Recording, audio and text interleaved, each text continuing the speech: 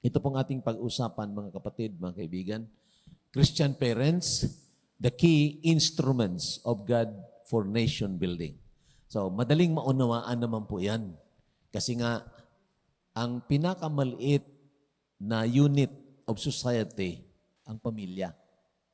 Parang kalintulad ng katawan natin, may pinakamaliit din na unit ang katawan natin, yung tinatawag silula ng ating katawan. At uh, according to science, doon nagsisimula ang growth, ang paglago. Hindi po ang mga organs ang naglalago o nag-grow. Pag mag-grow ang organs, delikado yon. Eh, baka pati ang puso mo lumaki, lumaki, mamatay ka dyan. Pero ang ang talagang growth na tinatawag o paglago nangyari sa silula. Sa silula ng katawan. So the smallest unit. So ganun din ang focus ng mga preaching na ito na ang mga ang mga pamilya ng mga tunay na mananampalataya ay talagang uh, lalong lumago sa pagkakilala sa Panginoon at uh, in all aspects of life, spiritual, moral, social, uh, maging yung political, ay talagang tama, balansyadong ating isipan, at kung anong tinuturo ng salita ng Diyos, yun ang, na, ang gusto nating ipamumuhay. Kasama na rin yung pamumuhay, financial and everything. For we cannot escape these things. These are parts of our life. Okay? Ang ibig sabihin, hindi pwede na lalago ka sa spiritual na bagay, pero hindi maapektuhan ang social life mo at hindi maapektuhan ang material life, even financial life. Hindi, maapektahan talaga yon. Kasi yun na nga po ang disenyo ng Panginoon. Of course, alam natin na even the Lord Jesus Christ, nang siya ipinanganak, hindi lang siya lumago sa kanyang spiritual na relasyon sa kanyang ama. Lumago din siya sa relasyon niya sa kapwa-tao. So, alam natin yun, Luke chapter 2, verse 52, sabi doon, And Jesus increased in wisdom, in stature, in uh, favor with God and man. So, lahat ng aspeto ng buhay. At ito dapat ang nangyayari. Okay? Hindi na para bagang isang aspeto lang at doon na ng, doon ng emphasis. And then, maya-maya, uh, na, na, napupuna pa o kaya na nagiging isang masamang testimony sa ibang mga tao na bagamat mananampalataya, pero ganito ang kalagayan ng kanyang buhay in some aspects of life. I also understand, mga kapatid, na sa emphasis na tinatawag sa buhay natin, mayroong tinatawag varied degrees of emphasis. Ang ibig sabihin, hindi lahat ay bibigyan mo ng diin na pari-parihas. Mayroon talaga ng tinatawag pundasyon na yun ang mabigyan ng diin and then you go up to grow. Okay? Understand na ito ang narapat kahit na nga sa mga bagay na temporal. Maraming mga mananampalataya hindi marunong mag-steward ng ipinagkakaloob sa kanila ng Panginoon na material na bagay at nagiging masamang testimonya sa ibang mga tao. Nabaon sa utang dahil hindi marunong mag-steward ng kanyang ng ipinagkaloob ng Panginoon. So, mananampalataya yon, pero bad testimony. And we want to grow in all aspects of life. At ito po ang focus nitong preaching po natin. Isisiris ko po ito by the grace of the Lord. And then, uh, as the Lord enables us, we would be touching all those uh, factors or aspects of life. Okay po? So ngayon, itong ating pag-usapan, Christian parents, the key instruments of God for nation building. Proverbs 22 verse 7, ang unang babasahin po natin. Train up a child in the way he should go, and when he is old, he will not depart from it. Isang instruction po ito sa mga magulang na kung maintindihan po natin, then magawa po natin sa ating mga anak, then magiging balansyado ang buhay ng ating mga anak in all aspects of life.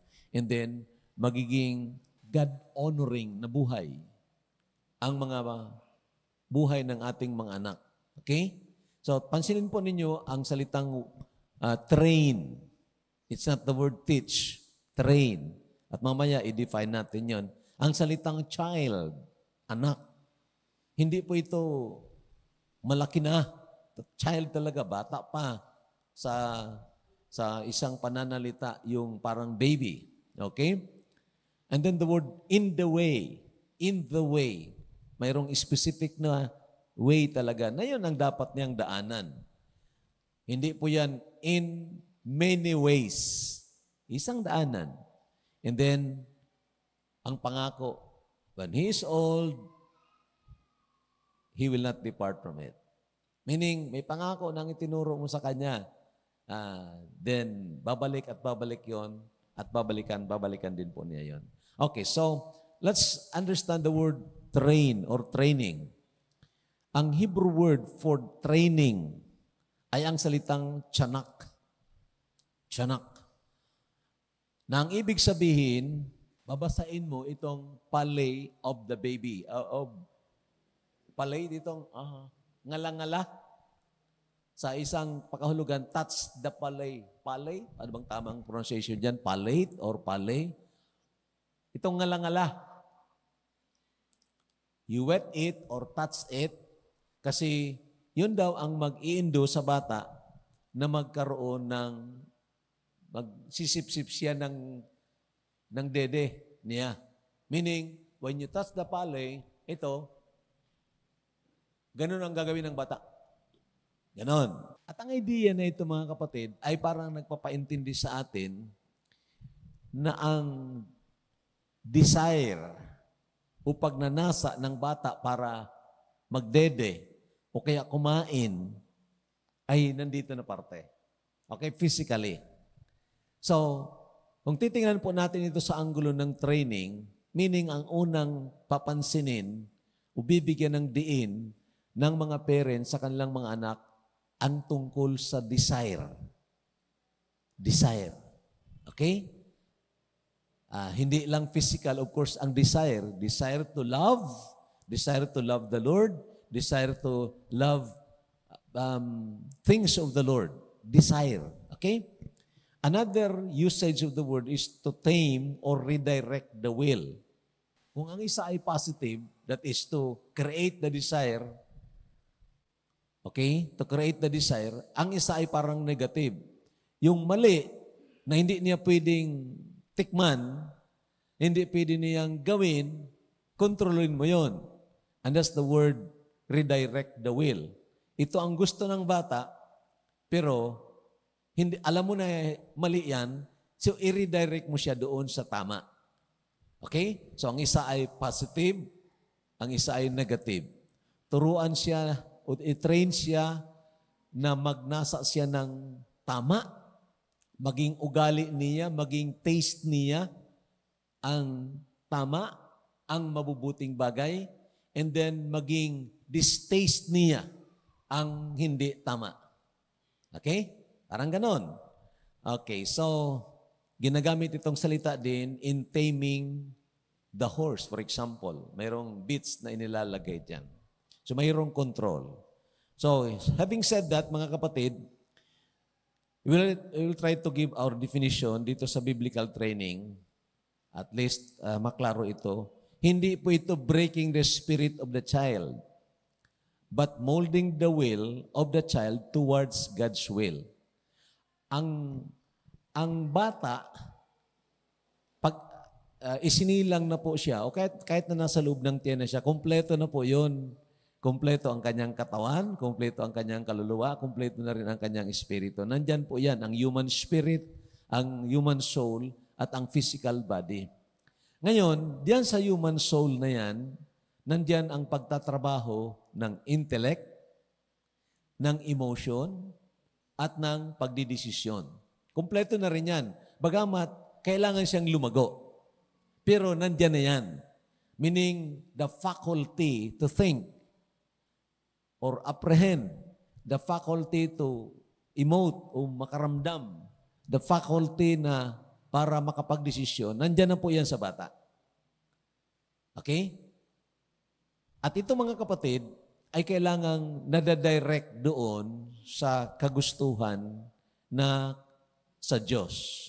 Okay, so it's not breaking the will na, uh, rather it's not breaking the spirit na ang bata masisiraan ng loob at uh, hindi na magkakaroon ng paggalang sa kanyang magulang kasi nasira ang kanyang espiritu against the parents. Okay?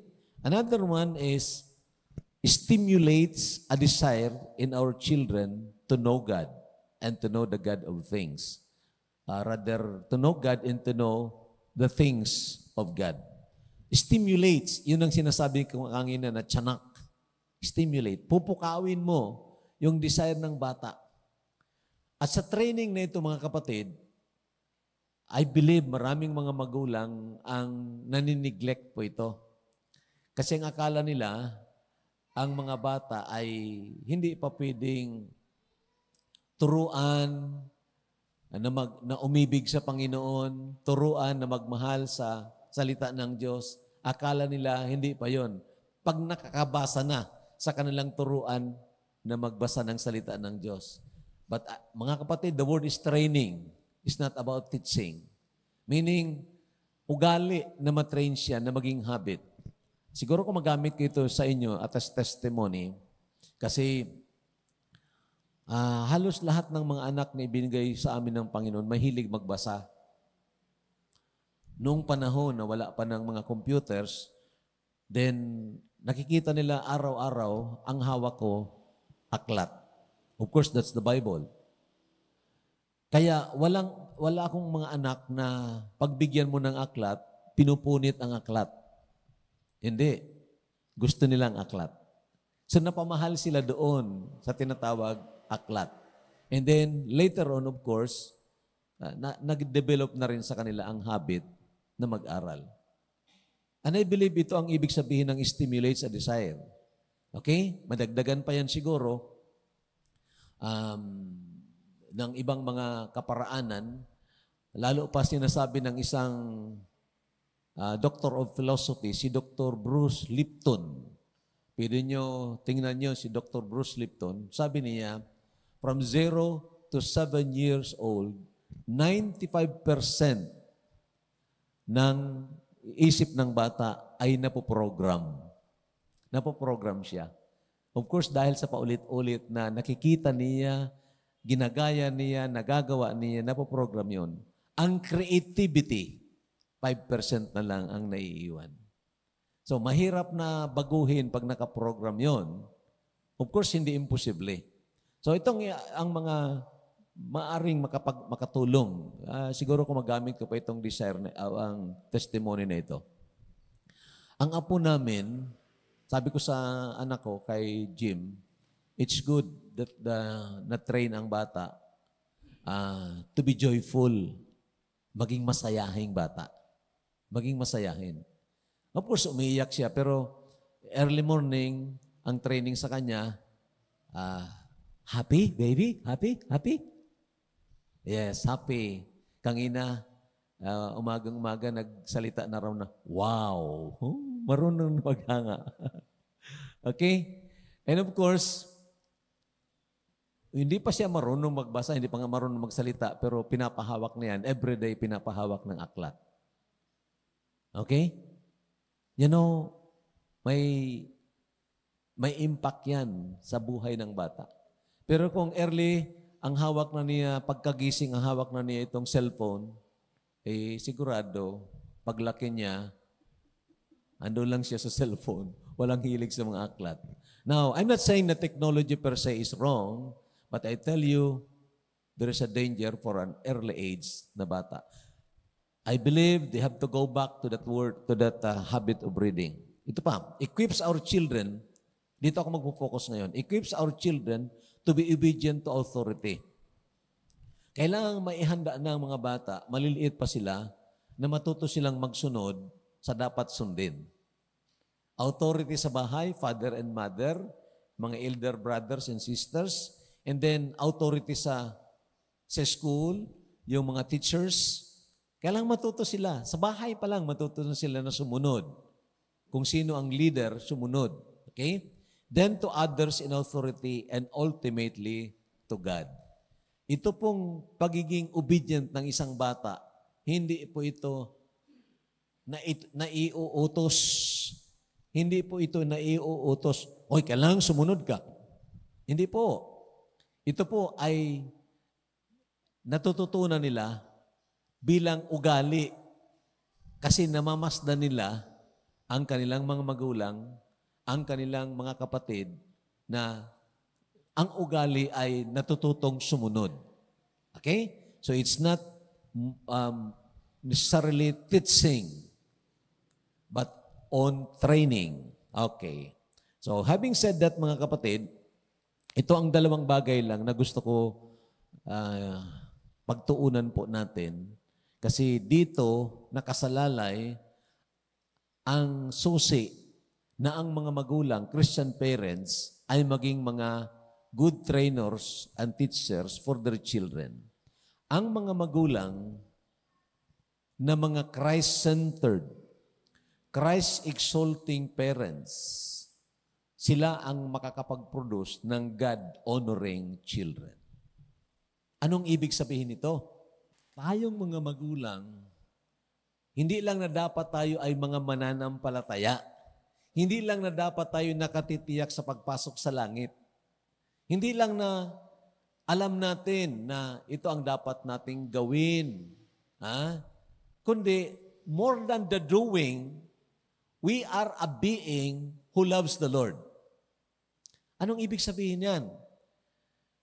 You know, kung minsan, nagtatrabaho ang isang magulang dahil obligasyon niya magtrabaho. At kung medyo na napagod na siyang masyado sa kanyang trabaho, ay lalabas na yung attitude. Ang attitude ng, ako nila palagi, ano, na-observe niya ng mga anak natin. And I believe, nakikita nila na hindi pala mahal ng mama ko ang pagtrabaho napipilitan lang siya magtrabaho.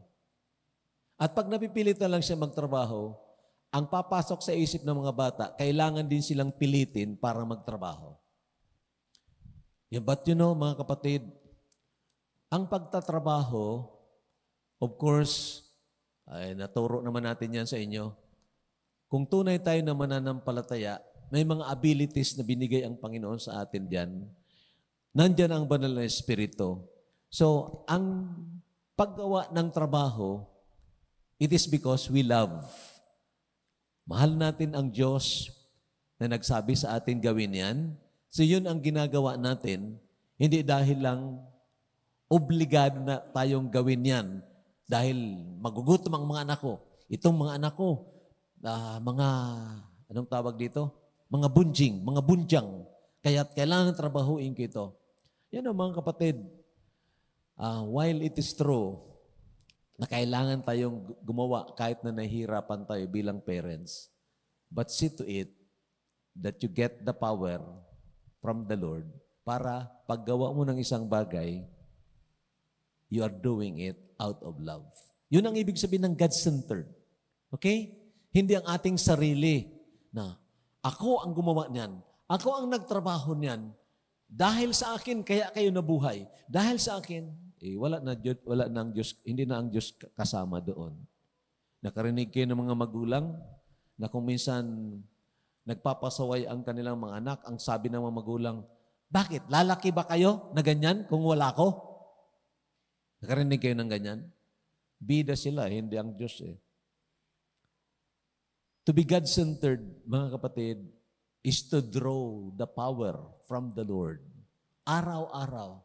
Panginoon, hindi ko kayang alagaan ang mga anak kong ito, pero ipinangako mo, I can do all things through Christ who strengthens me.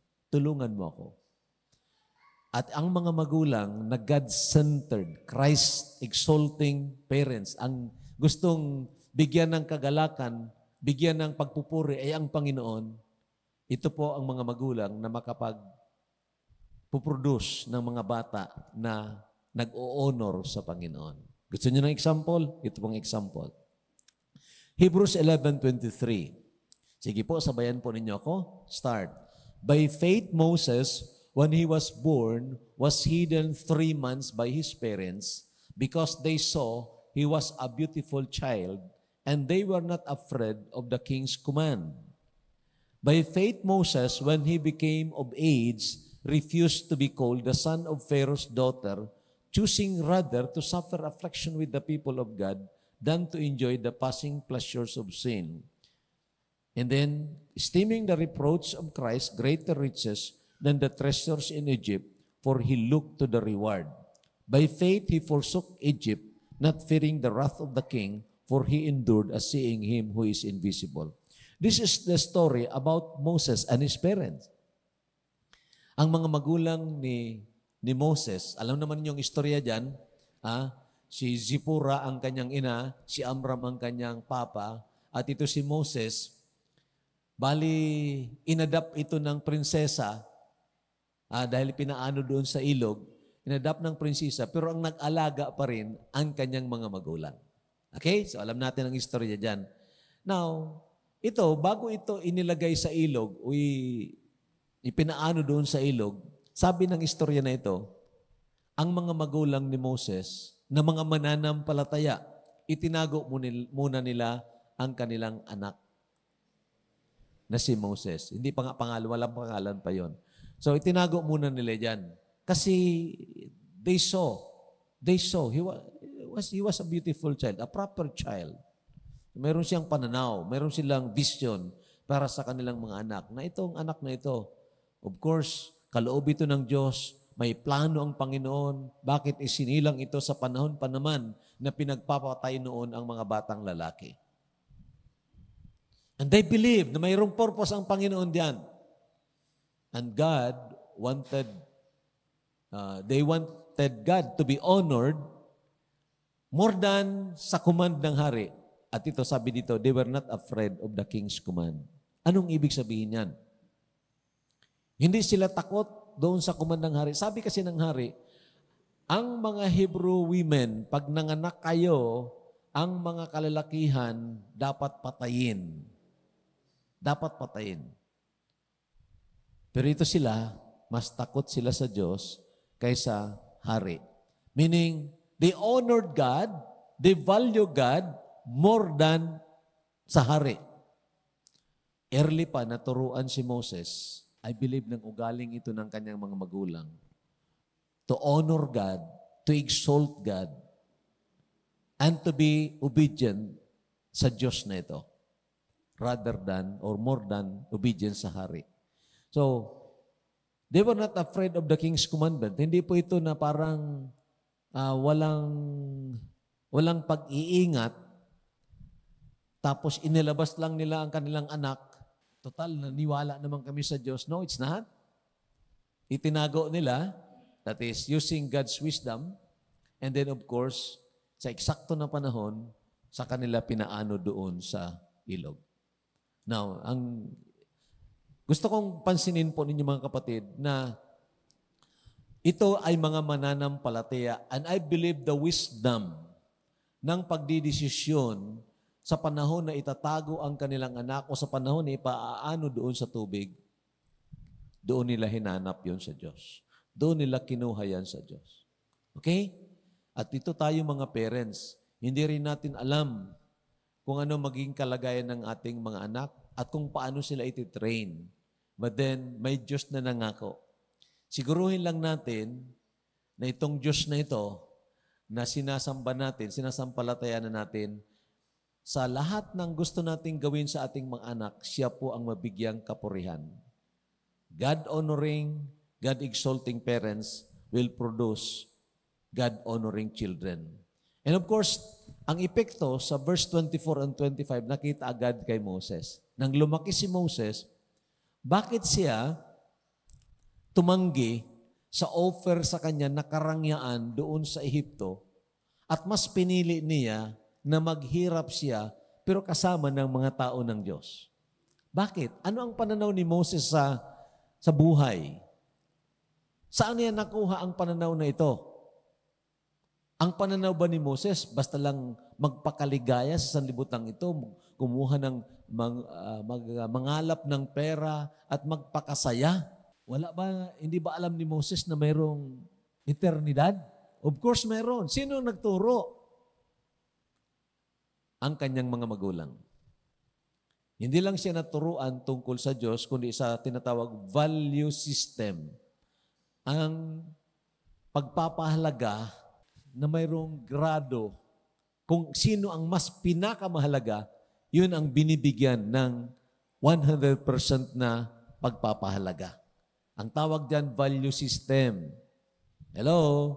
Makinig kayo. Kasi mahalagang mahalaga ito sa atin ng mga magulang. May mga magulang na kung minsan isakripisyo nila ang kalagayan spiritual ng kanilang mga anak, paalagaan sa ibang mga magulang na unbeliever at pupunta sa ibang bansa para maghanap ng pera para mabigyan ng sustento ang physical na pangangailangan ng kanilang anak.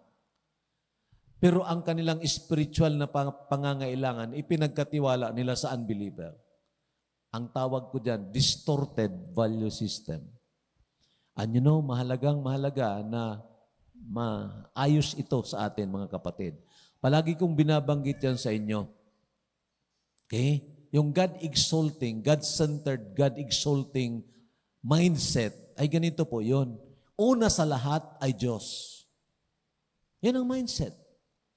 At the apex of our hierarchy of values ang unang-una doon, sa apex na yon, Diyos. Huwag mong papalitan niya ng kung ano man at sino man. Doon, bubulos ka sa kamalian. And I believe ito ang God-centered life. Gusto ko na ang Panginoon ang mabigyang kalwalhatian. Bakit gusto kong kumuha ng kurso ang, ang anak ko ng ganito? Bakit gusto ko? Bakit gusto kong makapagtrabaho siya? Bakit gusto kong uh, magkaroon siya ng pera, ng salapi. Bakit? Kung hanggang ka lang dyan sa plano na para sa sanlibutang ito, then you miss the point. You miss the point. Okay? God-honoring or God-exalting parents, Christ-centered parents, their goal is always eternity. Ang anumang bagay sa sanlibutang ito, i-connect po natin yan sa eternidad. Sabi, ko sabi ko baga sa inyo, ang globe plan is better than smart plan. Naalala ninyo? Ang smart plan specific, measurable, attainable, realistic, and time-bounded. Wala doon ang Diyos. Pero ang globe plan, mayroon God-centered, livable, that's for letter L, objective, Bible-centered, and then ang E, eternity connected. Yun ang globe plan. mas, mas maganda. okay, pero ang ibig ko sabihin, mga kapatid, lahat ng ating ginagawa at mga adikain para sa, sa mga anak natin, kailangan konektado yan sa eternidad. Yun ang ibig sabihin ng God-centered, Christ-centered na o Christ-exalting na buhay. Okay. Kaya dito si Moses, makita nyo, he believes that there is eternity, at sabi niya, sabi sa verse 26, esteeming the reproach of Christ greater riches than the treasures in Egypt, for he looked to the reward. Saan yun na reward na yun? In eternity. At tingnan nyo, esteeming the reproach of Christ, binalance niya, sabi niya, ito, ito ang makukuha ko kung tatanggapin ko ang offer na ako ang magiging susunod na paraon. Ito ang makukuha ko. Pero hanggang kailan? for a season. Ah, logi ako dyan eh. Kasi hanggang sa buhay lang na ito. Ito ang makukuha ko naman kung tatanggihan ko ang offer. Naku, maghihirap ako dito. Okay, maghihirap ako. Kasama ng mga tao ng Diyos. Pero okay naman. Maghirap ako ngayon. Balang araw, doon naman ako. May reward ako sa langit. So, nakita nyo, may connection sa eternidad. At alam niyo yun ang dapat na training natin sa ating mga anak. Alam nyo, isa sa malungkot na mga pangyayari sa atin sa Pilipinas, alam nyo itong dahil sa kahirapan, ang mga anak, ang ambisyon, bakit kailangang mag-aral ng mabuti, ay para lang maiangat ang kanilang pamilya sa kahirapan.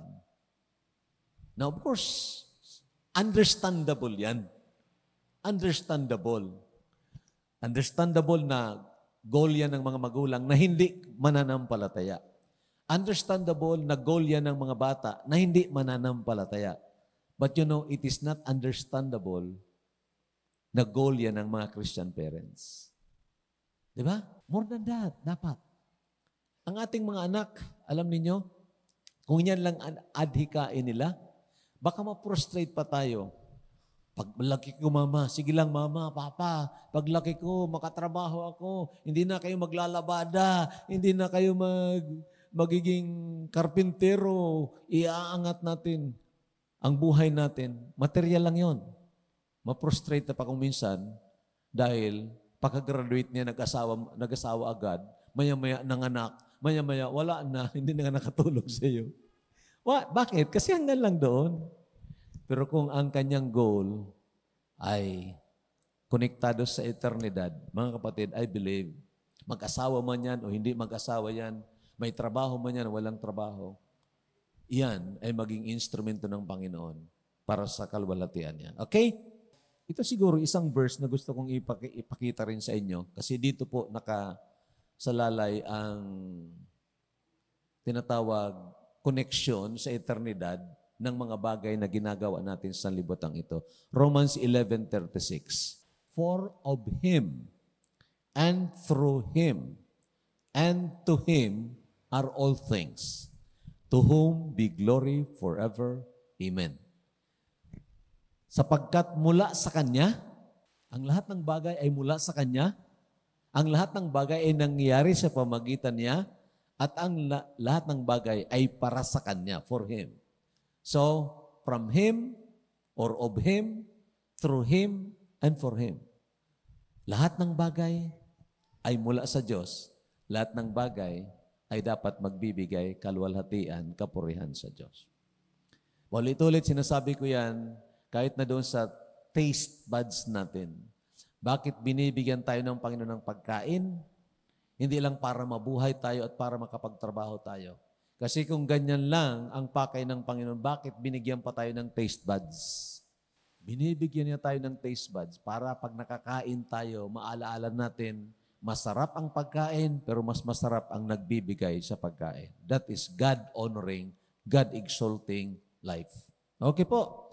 Ang pangalawa, dalawa lang po ito, Bible-loving and Bible-practicing Christian parents produce obedient children. Bible loving. Anong ibig sabihin ng Bible loving? Hindi lang na mayroon kang Bible na binabasa o kaya't palagi kang nagbabasa, kundi talagang hindi kasi hindi iyon parang obligado. Nandyan ang built-in desire na mula sa banal na Espiritu na para kang gutom, para kang uhaw, na hindi ka dapat utusan para kumain. Talagang gusto mong kumain. And that is the desire dapat ng isang tunay na mananampalataya, desire for the Word of God. I-examine natin nating sarili. Kumusta? Lalo na sa ating kapanahunan ngayon, na kung saan wala nang maidadahilan ang maraming mga tao na hindi makarinig ng salita ng Diyos. Nandyan ba sa, kinukultivate natin yung desire natin for the Word of God? O kaya na-over-engross tayo sa mga bagay na kailangan natin gawin agad-agad. Pero wala doon ang pakikipagniig at pakikipag-ulayaw sa Diyos. Yun ang danger mga kapatid. Binabaliktad natin ang gusto ng Panginoon. Ah, sabi ng Panginoon, Seek ye first the kingdom of God and His righteousness, and all these things shall be added unto you. And I believe that is also applicable kahit nasa pagkain. Okay? Meron tayo ng devotion every lunes hanggang biyernes sa Book of Psalms. Ang design noon ay para mapalakas ang pagnanasa natin na makipag-ulayaw, makipag-commune sa tunay at buhay na Diyos. Awit yun, ang emphasis is more on our emotion rather than thinking. Pero mayroon palagi yung thinking. But the point is, nandoon yung desire. Di ba? Panahon ito ngayon na kung ayaw mo makinig, halimbawa, ayaw kong makinig dyan kay Rudy Alamer, dito lang ko makinig. Ah, okay lang sa akin, basta wag mo lang pakinggan yung si Kristo ay hindi Diyos. Ah, si Kristo ay tao lang. Lulutuin ka nun, lulukuhin ka nun. But the point is, may salita ng Diyos na available ngayon kung sa pagkain pa, araw-araw bumabagsak ang mana mula sa langit. Pupulot ka na lang. Naging habit ba natin ito? Then do not expect na maging habit din ito ng ating mga magulang. Dahil kung wala tayong pagpapahalaga sa mga bagay na spiritual, hindi mo yan may transmit o what I mean, wala ding magiging pagpapahalaga ang mga anak natin sa mga spiritual na bagay. Kung minsan, alam niyo kung bakit nagiging ang mga pilosopo ang karamihan sa mga bata. Kasi ang napapakinggan nila karamihan, yung mga ideya, mga ideas doon sa social media. O, gamitin ko ito siguro. At least gusto ko makatulong kasi last Friday, mayroon kaming group chat at kasama ko itong mga apo na apo ko. Sabi ko, Uh, nagbigay ako ng assignment sa kanila, magbasa sa Book of Genesis. Ang makatapos, sabi ko, bibigyan ko ng, pre- ng premyo. Pagkatapos, nag-usap-usap kami Friday night. And then, may tanong. May tanong sa akin. Ang tanong niya ganito, What if, what if nobody has created us? Grabing tanong yun. What if? Ano kaya? Sabi na, halimbawa, walang, nag, walang lumikha sa atin. Philosophical po na po yun. Natanong yun. Ang sagot ko sa kanya, okay, subukan natin ha. May makikita ka kayang drawing kung walang nag-drawing? Ah. Walang nag-drawing, may makita kang drawing? Wala. So sabi ko sa kanya, mayroong effect, so mayroong cause. Of course, that, sa mga matatanda na yan na the law of cause and effect. Pero batang-bata pa, alam na yun. So, sabi ko, there is that effect. May nakita kang epekto. So, mayroong, mayroong cause yan. May nakita kang drawing, siyempre may nag-drawing. Di ba? May nakita kang design sa sanlibutan ito, may nag-design. So, ang tanong, mayroon ba talagang lumikha sa atin? Of course, alam niya, yes. So anong ibig kong sabihin mga kapatid? Bigyan natin ng panahon ang ating mga anak, kayong mga magulang, bigyan natin, lalo na kung maliit pa, bigyan natin yung panahon na makausap sila, maturuan sila.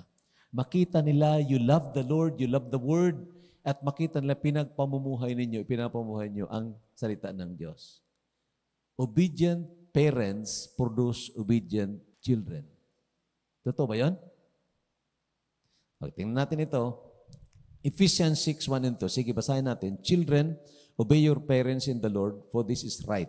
Honor your father and mother, which is the first commandment with promise. Pagka, pagkasilang ng iyong anak, pwede mo na kaya ito, ituro ito sa kanya. Anak, ha? Sabi ng Diyos, susundin mo ako, ha? Anak. Can it be done by teaching? Or it can be done by being an example. Training and being an example. So, ang sinasabi dito na children obey your parents in the Lord, of course, it's a maxim o uh, katotohanan yan. Pero, kung i-apply po natin ito, dapat una muna sa atin. We become obedient to our parents, kaya naituturo din natin sa ating mga anak na mag-obey sa kanilang mga mag, sa atin bilang mga magulang nila. Okay? Itong mga kaibigan natin ng mga NPA, nasa bundok ngayon. Do you think naturuan sila to obey? Na sumunod sa mga magulang nila in the first place. Then sumunod sa mga authorities. Naturuan kaya sila? Na-train ba sila ng ganyan? Maybe yes, pero kulang. Maybe no, wala talaga. O baka naman, ang naituro sa kanila baliktad. Nag-aalmusal sila, tapos napakinggan nilang balita tungkol sa leader, isang leader na isang pinuno ng bansa na ito may mga anong tawag dito, mga news na tinutuligsa. Tinutuligsa ang leader ng bansa. Ayan si, ano, talagang ganito, ayan, mamamatay tao, ganito. At doon, nag-almusal kayo, naging ulam ninyo yung istorya na yon. Ganyan talaga yan. Ang presidente na yan, dapat mamatay na yan. Dapat talaga. Alo, alam nyo, ang itinatanim mo sa isipan ng bata ay magrebelde sa authority. Okay? Eh, pastor, anong dapat gawin? Masama naman talaga yung ginawa niya. Ganito ang pwedeng gawin. Anak, totoo siguro yung sinasabi nila na talaga may kasalanan yung, yung presidente o senator, senador natin. Anak, ipanalangin natin sila. Okay? Let's pray for our president. Let's pray for our leaders. Okay, magpray tayo. Hindi na dudugtungan mo doon at gawing mong ulam yung kasalanan ng presidente o kasalanan ng kan. And I believe, ito po mga kapatid, ah, very practical lang. Kasi ang pagmolde sa kaisipan at sa emotion ng bata, hindi po ito overnight process po yan. Na nakikita, na obserbahan nila ang galaw mo, ang body language mo, ang salita mo, kung ikaw ay sumusunod din. Pero kung napapakinggan mismo sa atin, yung pagtuligsa sa kung sinong uh, leader diyan, don't expect na balang araw ang anak mo ay hindi makukumbinsi ng kung sinong mga magtutuligsa sa mga leaders. Nakita kayo? Yung palagi nilang nandun sa street, kahit na sinong presidente, nandun sa street. Si Mr. Reyes, Renato Reyes, ano kayang tinuro sa kanya? So, anong ibig kong sabihin mga kapatid? Itong pagpapalakas sa pamilya ng mga magulang ang susi para maturuan na ng pagsunod sa authority, pag-obey, then ito po ay napakamahalaga na ang mga magulang, una sa lahat, ay maging mga obedient parents. Diba? In relation to pagsunod sa um, mga ordinansa lang, mga batas. Gusto ba natin talagang magsunod? O kung harap-harapan sa harap ng ating mga anak, alam nila na hindi tayo sumusunod. Dapat magbayad ng buwis, hindi tayo nagbabayad. Dapat kumuha ng permit, eh pwede naman makalusot kahit walang permit, then okay na. Ano may turo mo sa anak mo? Ah, pwede pala makalusot. Walang lisensya, ipapadrive mo ang anak mo kahit walang lisensya. Pag nabangga, sa kakalaw sabi, Ay, Lord, sorry, sorry, Panginoon. Eh, alam mo na, we are to teach our children how to obey at an early age and we should be followers of the laws, first of all. Okay? Like father, like son. Like mother, like daughter. Eh, magkakatotoo rin yun. Di ba? So, children, obey your parents. Ito sabi pa, And you fathers, do not provoke your children to wrath, but bring them up in the training, nandiyan ang word na training, and admonition of the Lord. Okay? Training. At ang alam ba niyo ang word na training dito? Child discipline. Na ibig sabihin dito, child discipline. Uh, ang hindi tama, koreksyonan. Ang tama, ipal, ipagpatuloy, i-train, i-train, i-train. Hanggang matutunan yan. Ang salita namang admonition, that is counseling. That's the Greek word notasaya, counseling. Uh, payuhan siya. Words yun, salita. Itong child training, may kasama ito na Ganyan, pagpalo. May kasama yan. Huwag yung kurot, ha? O kaya, ah, ganyan. Huwag yan. May pamalo. Okay, babasahin ko mga talatang yan. Ito, basahin lang natin, unawain natin, and then let everyone of us apply this by the power of the Holy Spirit. He who spares his rod hates his son, but he who loves him disciplines him promptly. Okay? So dito makikita mo, mahal mo talagang ang anak mo? Ano bang tinuturo ng sanlibutan? Pag nagpalo ka sa anak mo, ang sabi ng sanlibutan, you hate him. Kaya mayroong, ano yung Republic Act 7610? Child abuse. Pag pinalo mong anak mo, inabuso mo siya. Pero pag pinalo ka ng anak mo, okay lang. Grabe. Oh, sinong gumawa ng batas diyan? Ng ganyang batas? Sa susunod, wag niyong iboto yan. So anong ibig kong sabihin dito, mga kapatid? Ang Bible, mas tama ito. Sabi ng Panginoon, kung mahal mong yung anak, ay dinidisiplina mo yun. Dinidisiplina mo. Hindi naman lahat ng disiplina ay palo. Hindi. May mga bagay na kailangang pigilan mo siya sa gusto niyang gawin dahil alam mo, hindi pa yun pwede sa kanya. Mayroon namang dapat na pigilan mo siya dahil alam mo, makakasira sa kanyang buhay o sa kanyang kapwa. So there is that word discipline. Sabi ko sa mga estudyante natin, uh, sa mga teachers natin, ano kaya ibalik natin yung panahon? Okay?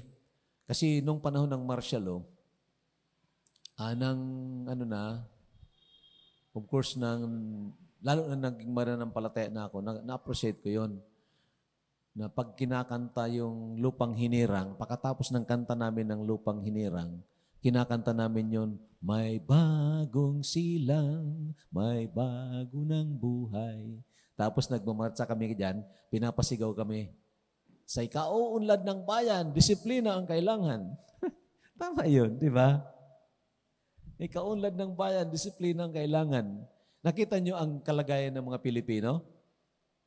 Hindi naman lahat. Pero nakita nyo, no parking, pero magpa-park doon. Pag sinita, eh kasi akala ko walang pulis. Di ba? They are not objective in following what the law says.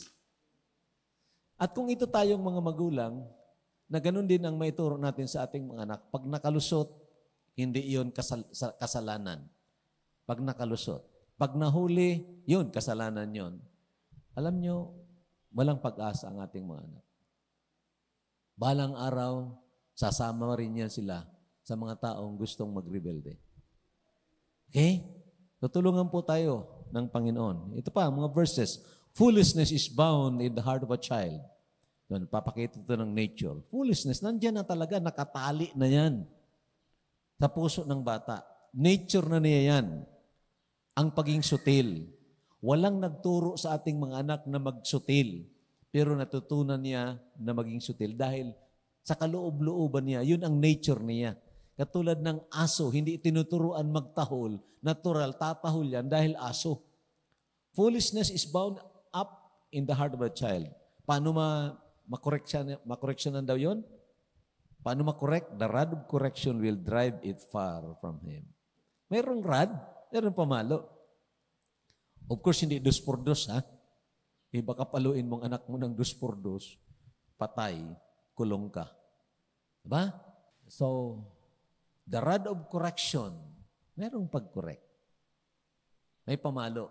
Sa, of course, sa ugali naman ng mga Kastila, ugali ng mga Kastila na na-inherit natin, disciplinaryan sobra. Ano? Hindi lang, hindi lang, o magkamali na ng kunti ang mga anak, palo na yon. Dila lang ang walang latay. Pero hindi yun ang tinuturo ng Bible. Okay? Ito po.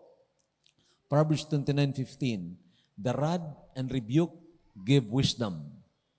Nandun pa rin ang word na rebuke, that is the word admonition. The rod and rebuke give wisdom. Natututo ang bata. Naalala ko noon, ito, personal testimony po ito. Uh, grade, ano, third year at ako, naadik ako sa kachiches. Adik ako sa kachiches. Pustahan. Ipag nananalo, lalo akong iganahan. So, pag uwi ko ng bahay, may tiyuhin ako, niyayayain ako agad, 25 sentimos lang, chess kami. Chess. Halos araw-araw yun, pagkakahapon. E meron kong obligasyon sa bahay na kailangan akong magsalok ng tubig doon sa balon, pupunuin yung tapayan. Pero hindi ko nagawa yon Several times. Galit ng papa ko. Eh, nachimpuan niya ako, nag-chest. Sabi, Psst! Agad ko, may katakot ako agad sa papa ko. At alam nyo, pauwi kami ng bahay, pinalo na akin yung Madrid Cacao, yung sanga ng Madrid Cacao. Sinasangga ko ng kamay ko na ito. Pero ito, talagang namaga ito. Pero hindi na ako umiyak kasi alam ko kasalanan ko yon. Pero since that time, nabigyan ako ng correction, hindi na ako, o tumigil ako doon sa pag-chest. Oh, nag-chest pa rin ako, pero hindi na yon no, parang adi ka doon. The rod and rebuke give wisdom. But a child left to himself brings shame to his mother. Aba, pabayaan mo lang daw ang anak mo, wag mong koreksyonan, mamaya-maya ipapahiya ka niya. Hindi naman kanyang pag-aari. Galit lang siya, kinuha na yung laruan ng iba at itinapon niya. O kaya natuto siya na magsakit ng iba. Saktan niya ang kanyang kalaro na wala namang kadahilan. Pero sabihin mo lang, Okay lang, anak. Okay lang yan. Fighter ka talaga, ha? Di maya-maya, bibisitahin mo yan sa bilangguan. Kasi, pap, ipapahiya ka niyan pag hindi mo binigyan ng correction. We have to correct. Okay? And of course, ito ang tungkol sa timing. Chasten your son while there is hope. Habang may pag-asa pa. Bigyan mo na ng correction. At kailan yun? Maliit pa na bata. Actually, manifested naman kasi yung, yung pagpapasaway ng bata kahit na bagong silang pa lang eh. Manifested na, nagmamanifest na. Iiyak siya na walang kadakadahilan. So naalala ko noon, ang anak ko, gusto palaging magpakarga. Pag, pag ibinaba mo, iyak siya kahit busog. Ako, hating gabi na, nag-uumaga na. Seven times ako magtimpla ng gatas. Nako, grogi na ako. Sabi ko, papaluin na kita. Pero barely one month old or two months old yan si Rachel noon. Pero alam nyo, kumuha ko ng lampin, pinapalo ako yung talampakan. Sutil ka talaga. Sutil ka talaga. uh, okay? Chasten your son while there is hope. And do not set your heart on his destruction. Lastly, i-quote ko na lang. Withhold not correction from the child. Sabi ng Proverbs 23, 13 and 14. Withhold not correction from the child, for if you beat him with the rod, he shall not die. You shall beat him with the rod, and you shall deliver his soul from hell. Now, anong ibig sabihin yan? Huwag mong ipagkait. Talagang mayroong pagpapalo. At gagamit ka ng rod. The rod of correction. Ano kaya yun? Ang, anong pwede? Na rod. Ha? Yung bakal? Ay, delikado yun. At saan mo papaluin para hindi mamatay? Huwag mong papaluin kahit saan. I believe, a symbol of submission, padapain mo siya at paluin mo siya dito. Kahit na medyo malakas ang palo dito, hindi yan mababalian ng buto. Talagang inilagay yan ng Panginoon na medyo pinaumbok talaga yan para pagpalo mo, hindi siya mamamatay. Okay? May wisdom doon. At bakit sinasabi doon, you shall deliver his soul from hell? Bakit? Kasi panahon na pinapalo mo siya, pinapaalam mo sa kanya, ang kasalanan ay may kabayaran. Ang kasalanan ay may kabayaran. Ayaw ng Diyos sa kasalanan dahil ang Diyos ay banal. At pag siya ay nagsorry, matapos mo siyang paluin, nagsorry siya, at niyakap mo siya, nananalangin kayo, ma- ma- maintindihan na yun, ah, ang Diyos ay pag-ibig. Kaya pala siya ang nagbayad ng aking kasalanan doon sa cross ng Kalbaryo. Kasi mahal niya ako. Katulad ni daddy, katulad ni mami, mahal ako. Kaya pala pinapalo ako at niyayakap ako pag nagsorry ako you can easily explain the gospel to the child na siya ay ma-deliver from hell. Ah, hindi perfecto ang mga anak ko. Kung minsan, na nabubunjingan din ako sa mga anak ko eh. Itong mga malalaki, I'm telling you the truth. Pero at least, nakita ko na nung maliit pa sila, ah, mayroon akong tinuro sa kanila na hanggang ngayon, hindi nila malilimutan yon. Love at labunon. Ano yung love? Ano ang gusto mo? Love o labunon? Pag love lang, may palo yon. Pero pag labunon, huwag kang magpasaway, labunon. Di ba? Mayroon tayo ng superlative na pagpapa, pagsasalita sa love, labunon. Now, makatulong sana ito mga kapatid, mga, mga magulang lalo na. Ha? Gusto natin na lumakas ang ating bansa. Gusto natin lumakas ang eklesiya ng Panginoon. That's the key. Palakasin natin ating mga pamilya. Building the lives of our children. And you are God's instrument. I am God's instrument. Tulungan po tayo ng Panginoon. Tayo po'y manalangin. Panginoong Diyos na makapangyarihan sa lahat, this is quite a lecture and a long one, but this is your word. And I believe na ito po ang kailangan namin. And so, I am praying na sa tinutumbok ng mga mensahe na ito, ay magkaroon kami ng mga pagbabago sa aming mga kaisipan. Yung mga pananaw na hindi naayon sa iyong salita ay iwaksi po namin. At yakapin namin itong mga naayon sa iyong salita.